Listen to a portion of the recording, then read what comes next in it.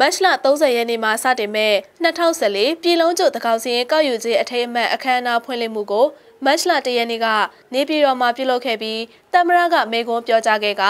LED ပုံပေါ်မှာလက်မှတ်ရေးထိုးပြီးအခမ်းအနားဖွင့်လှစ်ပေးခဲ့ပါတယ်။အဲဒီနောက်မှာဗဟိုတကောက်စင်းကော်မတီနာယကဒုတိယသမရဒေါက်တာစိုင်းမောင်ခန့်ကတကောက်စင်းကောက်ယူဖို့အတွက်တိုင်းဒေသကြီးနဲ့ပြည်내အသီးသီးမှာရှိတဲ့ဝင်ကြီးချုပ်တွေကိုတာဝန်လွှဲပြောင်းပေးခဲ့ပါတယ်။ တကောင်စီကောက်ယူမှုအခမ်းအနားဖွင့်လှစ်မှုကိုတိုင်းရင်းသားအဖွဲ့အစည်း90နီးပါးကကိုယ်စားလှယ်တွေတက်ရောက်ခဲ့သလိုလူရည်ကျွန်းနဲ့ကင်းထောင်မောင်မယ်များမတန်ဆွမ်းအဖွဲ့အစည်းများနဲ့စာပေအမှုပညာရှင်တွေပါတက်ရောက်ခဲ့ပါတယ်။နော်ကရန်ဆိုတဲ့ခါကျတော့ဒီကျတို့ကရန်မျိုးနွယ်စုကလေးနွယ်ရှိတယ်လေ။နော်ကရန်လေးနွယ်ရှိတယ်ကရန်လေးနွယ်ကိုအဓိကတော့အခုဒီကောက်မဲ့အစီအစဉ်ထဲမှာကဘယ်လို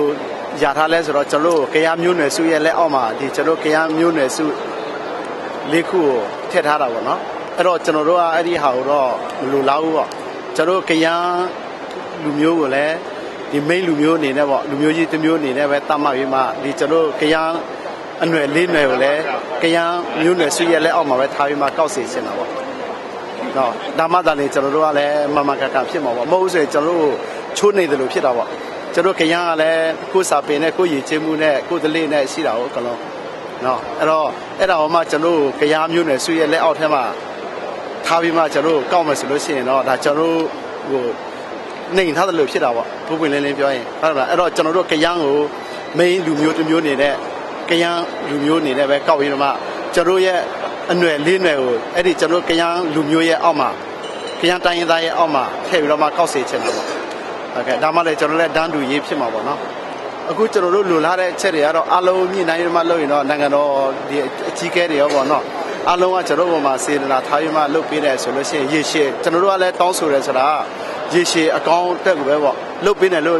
လုပ်ပေးနိုင်မယ်လို့လည်းပြောင်းလဲပေးနိုင်မယ်လို့လည်းကျွန်တော်တို့မျှော်လင့်တယ်လေအဲ့တော့ကောက်တဲ့ခါကျရင်လည်းအခုကျွန်တော်တို့တောင်းဆိုတဲ့အတိုင်းပဲကောက်ပေးမယ်လို့ဒါကျွန်တော်တို့ KMP ပါတီနေနဲ့တော့ယုံကြည်တာပေါ့မျှော်လင့်တာပေါ့နော် ဟိုအမှန်တော့မောင်တော့ဒီပွင့်လင်းပြောမယ်ဆိုလို့ရှိရင်တော့ဒီဒေါ်စင်းကောက်တယ်ဆိုရင်တိုင်းသားတွေအမျိုးမျိုးတတ်မှတ်တယ်ဆိုတဲ့နေရာမှာတော့ဒီမကောက်ခင်မှာဒီ picture ကြိုတင်ပြင်ဆင်ပြီးတော့မှပေါက်တင်တယ်တော်တော်လည်းပဲဒီတစ်ဖက်မှာလည်းတိုင်းပြည်ရဲ့ရေးကြီးပြန်လဲထူထောင်ရေးပေါ့လိုအပ်နေတဲ့ data ကိန်းဂဏချက်လက်တွေအများရဖို့လှုပ်ဆောင်နေတဲ့ပုံပေါ်တော့ဒါတစ်ဖက်မှာလိုအပ်မလို့အရ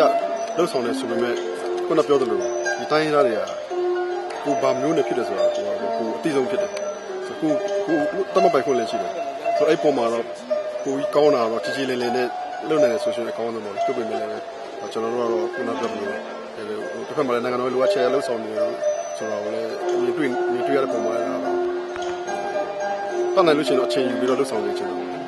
တကောင်စီရေးကောက်ယူမှုကိုဗဟိုတကောင်စီရေးကော်မရှင်ကကြီးကြပ်မှာဖြစ်ပြီးနိုင်ငံတော်ဝန်မှရှိတဲ့အိမ်နောက်စုတိုင်းကိုကိုပိုင်ဆန္ဒအရဖြည့်ကြားချက်တွေကိုကနအူရယူပြီးပြန်လည်စီစစ်ခြင်းတွေပြုလုပ်မှာဖြစ်တာကြောင့်မကြာမီစတင်တော့မဲ့တကောင်စီရေးကောက်ယူမှုဟာများစွာအထောက်အပံ့ဖြစ်စေမှာဖြစ်တယ်လို့သိရပါဗျ။ တကောင်စီကောက်ယူခြင်းလုပ်ငန်းစဉ်တစ်ခုလုံးပြီးဆုံးတဲ့နောက်မှာပြန်လည်စီစစ်အတည်ပြုဖို့ကိုတိုင်းရင်းသားလူမျိုးစုတွေထံကနေအကြံပြုချက်ပူးပေါင်းဆောင်ရွက်ချက်တွေကိုရယူကလှုပ်ထုံးလုံနည်းနဲ့အညီဆောင်ရွက်သွားမယ်လို့ဗဟိုတကောင်စီကော်မတီကထုတ်ပြန်ထားပါတယ်။